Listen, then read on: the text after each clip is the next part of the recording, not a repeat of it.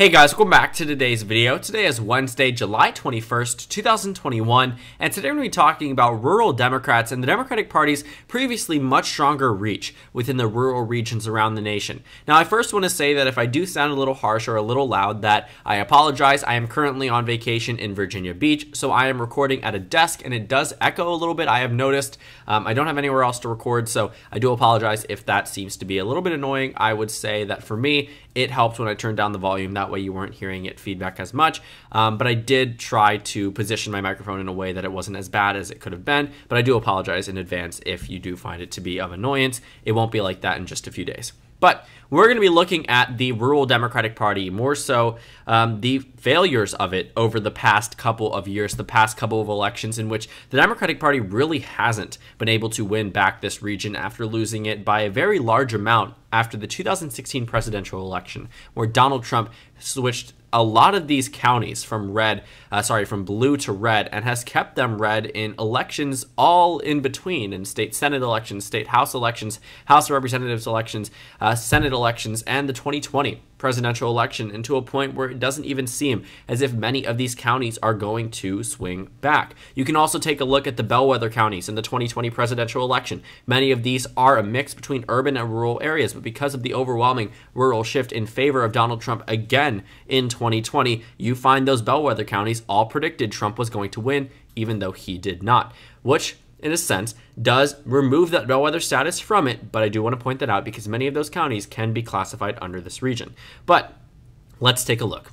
So when I saw this article from Yahoo News, they say that rural Democrats run from party ahead of 2022 midterms. Essentially, what Democrats are doing to push themselves away from nationally polarizing figures such as Nancy Pelosi, Joe Biden, Kamala Harris, Chuck Schumer. And we have seen this. This is not something new. If you followed my channel back in 2018, you might remember that senators such as Jon Tester, Joe Manchin, Sherrod Brown did not like to invoke the names of Nancy Pelosi, Chuck Schumer, uh, other Democrats, you know, Hillary Clinton, they avoided using them as uh, reasons as to why voters should back them. Because while that may be a winning strategy in a Clinton state or a previously Democratic state such as Pennsylvania, Michigan, Wisconsin, Nevada, New Hampshire, it certainly was not a winning strategy in Ohio and West Virginia and Montana, especially in the 2016 presidential election.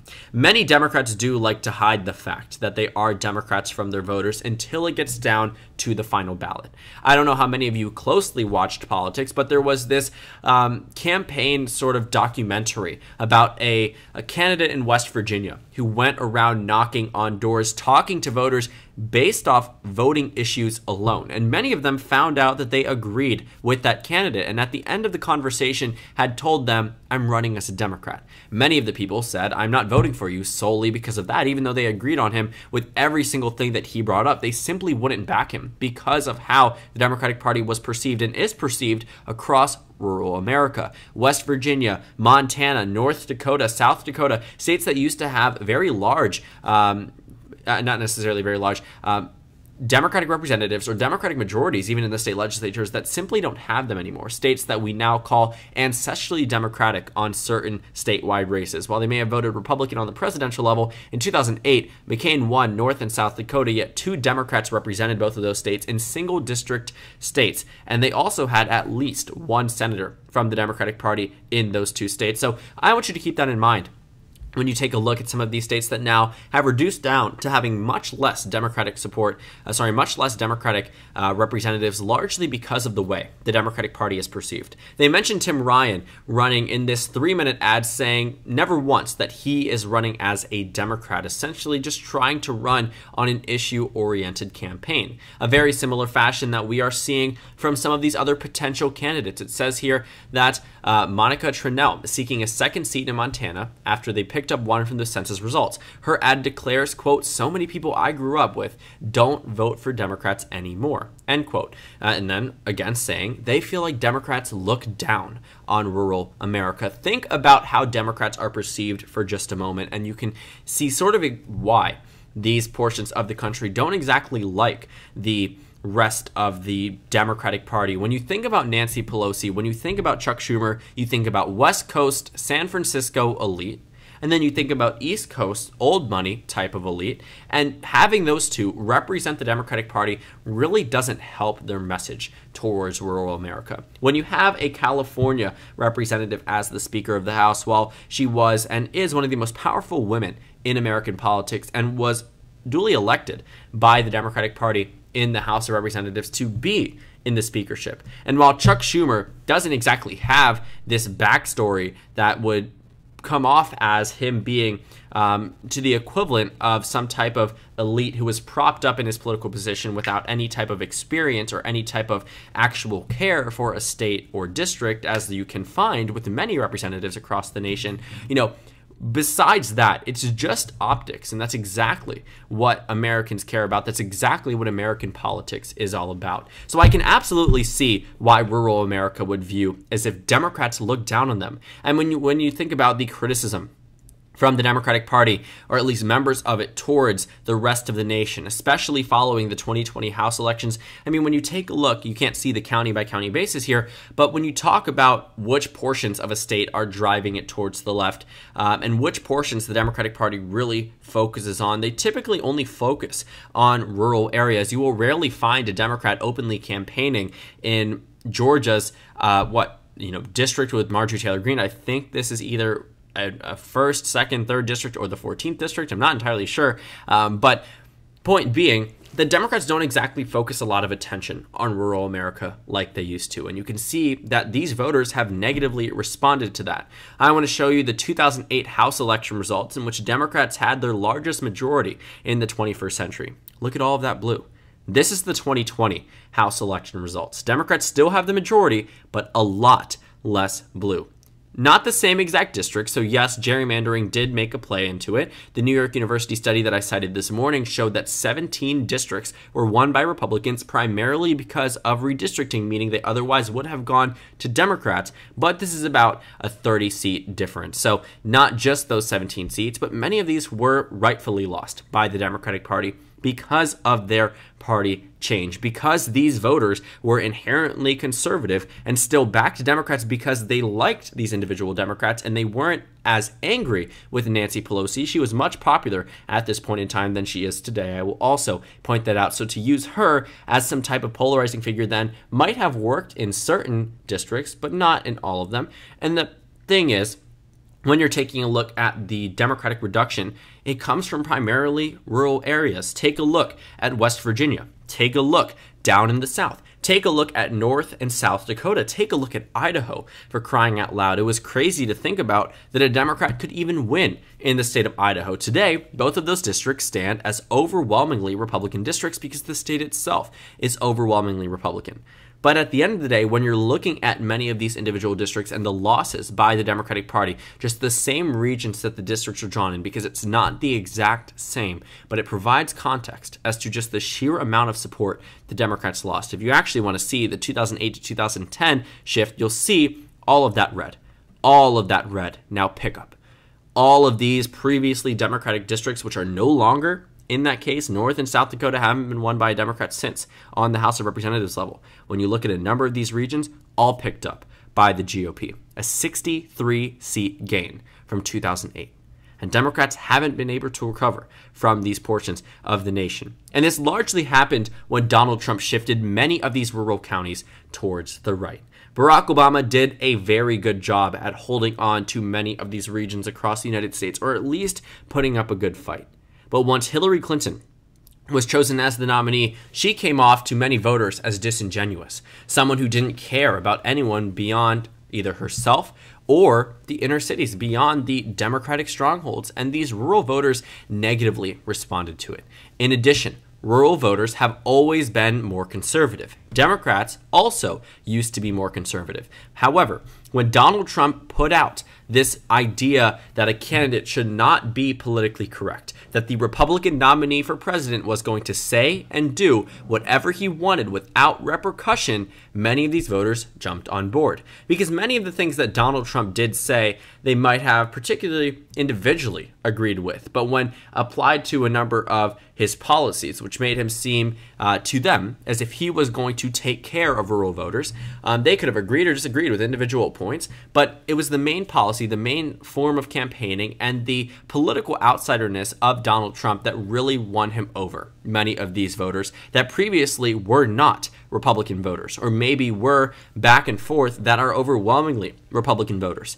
In addition, Donald Trump has a grip on his supporters from 2016 and 2020 that is unwavering. Donald Trump was able to treat them as a different type of group. These are Trump voters. These are people that many on the left would describe, um, I would say, to not try to imply this in a negative fashion, but as a cult, to try to say that voters on the right wing are allegiant to President Trump. And I don't think that characterization that they will follow him, um, you know, to vote for certain candidates, to vote for Republican ideologies, etc. I don't think you know they are wrong about that characterization. I wouldn't go so far as to try to describe this as a cult to say that these voters are inherently negative um, for X, Y, and Z. That's more of a policy related issue and that's more of a partisan statement rather than just a characterization of a group of voters. But these voters are unrelenting Trump supporters. They will certainly uh, back him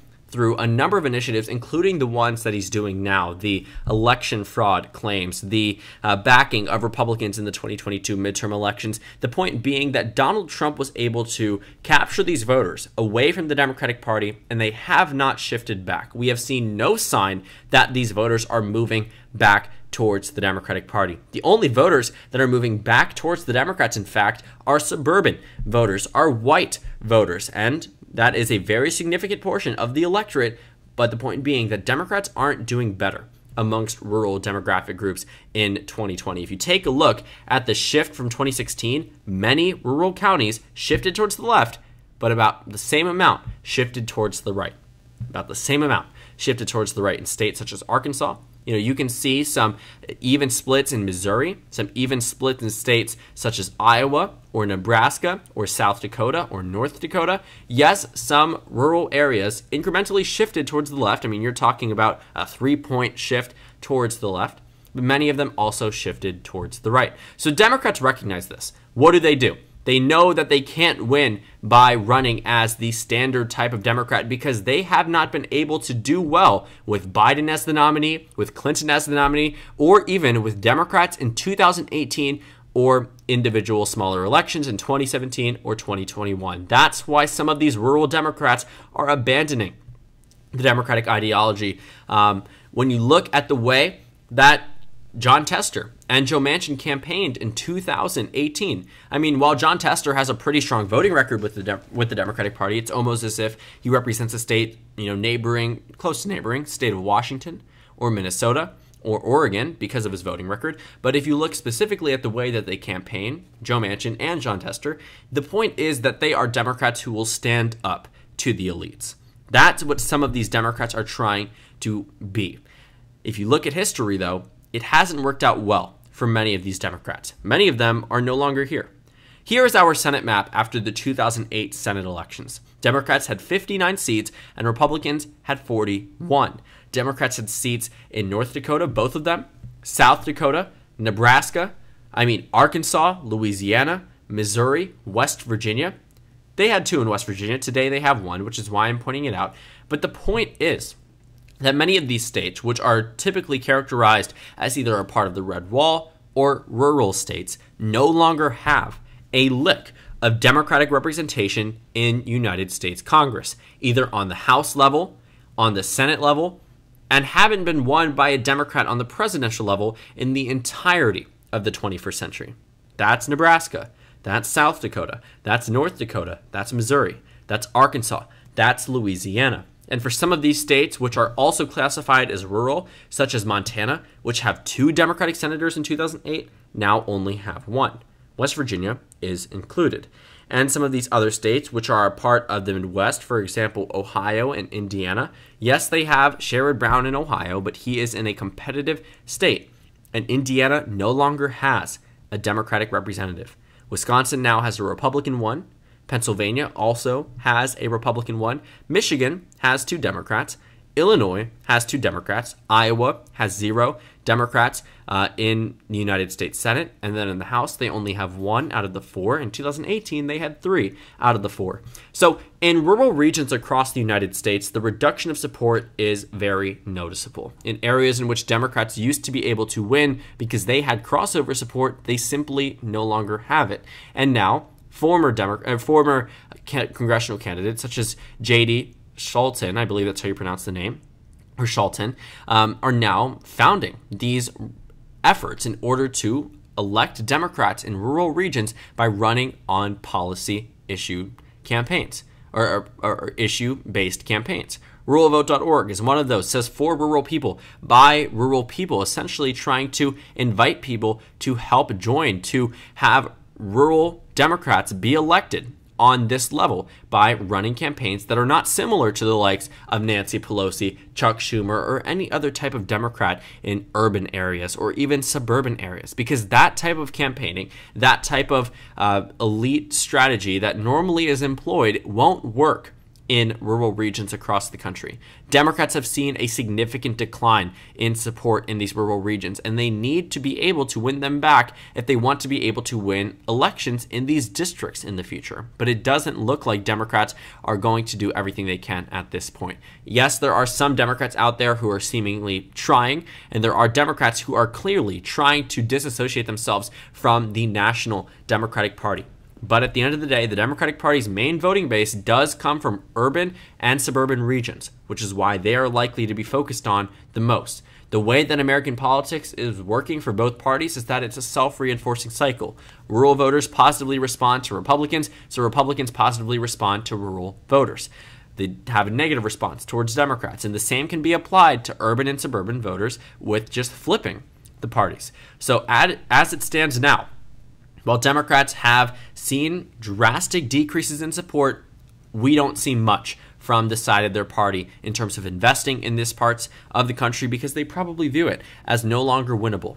But as history has shown, Democrats have previously won there, which means Democrats can win in the future. It may not be easy, and it may not be for the next 10 to 20 years, but to not invest in a third of the nation's population just simply because you haven't been winning there in recent history does not is not a winning strategy for the future because inevitably things are going to start to change and the Democratic Party should probably be prepared for that. While there are some Democrats out there who do want to win in rural regions across the country, it does get difficult when the National Party does not want to help. But then you have to ask do they really want the help of the National Party? They probably do in terms of funding, but they probably don't in terms of campaigning. It doesn't make sense to have Nancy Pelosi out in the middle of Bismarck, North Dakota, when she clearly wouldn't be a positively respected figure in that area. It would make more sense to have a local Democrat, someone who knows the voters, grew up in North Dakota, and can win by running on a campaign that's completely different from the like of Nancy Pelosi or really any other type of mainstream Democrat what works in urban areas and suburban areas, which quite obviously does not work in rural areas. The unfortunate thing is, Democrats have seemed to abandon those types of rural strategies and tried to run on otherwise mainstream campaigns, notably Amy McGrath in the state of Kentucky, and a number of other failed campaigns that simply just don't work because of the region that they are in. So thank you guys so much for watching this video. Make sure to comment down suggestions below. Subscribe on the left if you haven't already and check out the Instagram and Twitter. At the bottom left of the screen, there's also a Discord server for you to go ahead and join. On the screen, there's a video you can watch and then a playlist for my 2022 election analysis videos. Again, thank you guys so much for watching and I will see you all tomorrow.